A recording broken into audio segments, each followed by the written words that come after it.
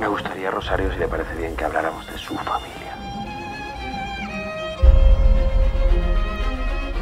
Mi hija Flora me contó algo de Amaya hace tiempo que me hizo mucha ilusión.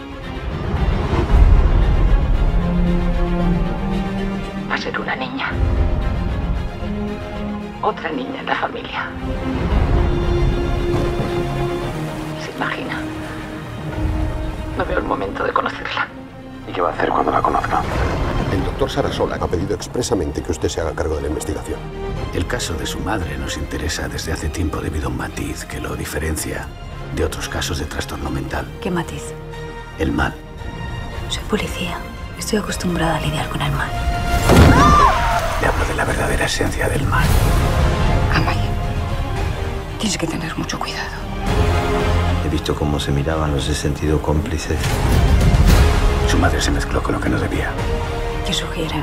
Si sigo hablando, me matarán. Quiero ver a Rosario ahora. ¿Dónde está? Necesito que emitan una orden de búsqueda y captura urgente. El hombre es libre para decidir, pero hay un límite. ¡Abrid la puerta! Una frontera. Un momento en el que solo algunos son capaces de dar un paso más.